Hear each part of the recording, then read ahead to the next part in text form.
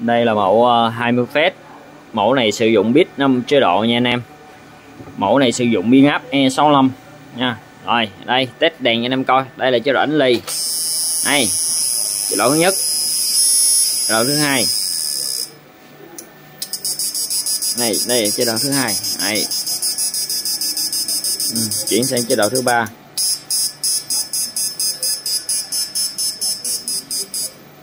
Đây là chế độ thứ tư. Và đây là chế độ thứ năm.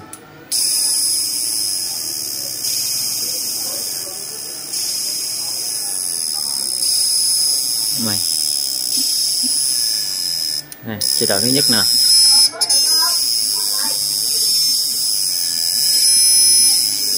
Chế độ thứ hai. Chế độ thứ ba, thứ tư. Thứ năm đây rồi chào anh em nha.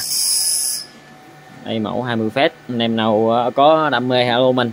Từ một giọt tới thải dây nha. Anh em đánh một giọt cũng đạt mà thải dây cũng đạt luôn nha. Rồi chào anh em